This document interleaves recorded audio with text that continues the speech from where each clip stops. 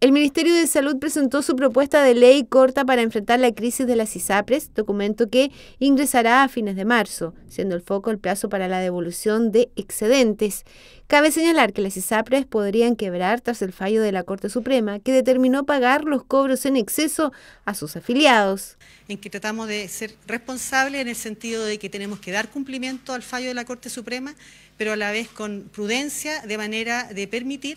que efectivamente se pueda dar cumplimiento a ese fallo, se puedan eh, hacer las devoluciones de los cobros en exceso, pero que también la gente no tenga riesgo de sus coberturas financieras y de su acceso a los prestadores y al mismo tiempo también enfrentar la mayor eh, migración que hemos tenido de personas a FONASA, donde también tenemos que reforzar la protección financiera de todos ellos. La idea es eh, entregar una solución que dé mayor certidumbre a las personas que están afiliadas a las ISAPRES, pero también que la gente no tenga riesgo de sus coberturas financieras y su acceso a los prestadores, además de enfrentar la mayor migración que se ha generado a FONASA, donde hay que reforzar la protección financiera de los usuarios. Aquí hay un sistema político en salud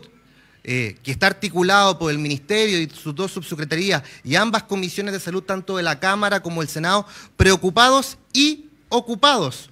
por la salud, por las coberturas y por el futuro no solamente de estos 3 millones de afiliados, sino de todos quienes son pacientes y usuarios de nuestro sistema de salud en su conjunto. Yo quiero valorar y agradecer la presentación que ha hecho la ministra, la doctora Aguilera, también el superintendente, el doctor Víctor Torres, que lo han hecho con una claridad muy importante y también con propuestas claras, concretas y que ya yo anticipo que tienen una transversalidad política para poder avanzar rápidamente. La propuesta de la ministra cumple con eh, los eh, eh, elementos de la progresividad en la, en la, aplicación del fallo en términos de las tablas de factores que es coincidente con la propuesta de reforma constitucional que presentamos la senadora Jimena Rincón, Matías Walker, el senador Macaya, el senador Galilei, el que habla.